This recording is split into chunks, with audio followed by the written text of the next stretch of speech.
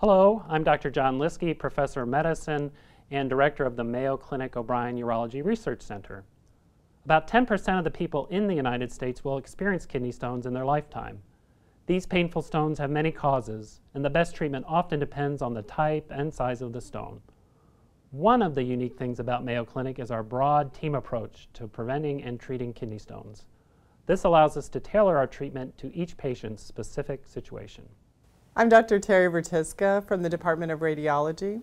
One of the first things we do is to use imaging to learn more about the size and type of stone to do this, we often use dual energy computed tomography or CT to scan the abdomen as well as the kidneys. This technology isn't often available at other centers, but here it helps us learn more about the stone without having to remove it. And this information helps the physicians in nephrology and urology identify the best treatment. Treatment for symptomatic kidney stones can vary widely depending on the size and type of stone.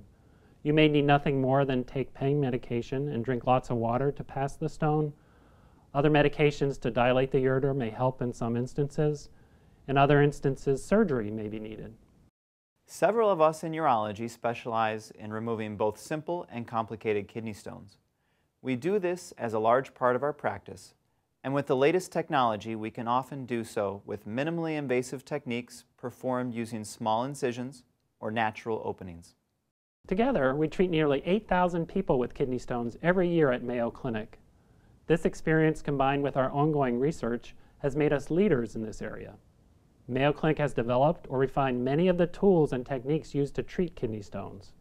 We're also continuing to look for new ways to improve the care for patients and the prevention of both common and rare types of stones. There are many improvements within CT imaging and three that apply directly to stone disease. First are improvements in dual energy CT to more accurately identify the specific type of stone. Secondly is more accurate quantification of the amount of stone disease or stone burden. Finally, and most importantly, are CT imaging advances to decrease the radiation dose, which is a commitment we have as radiologists to the patients we care for.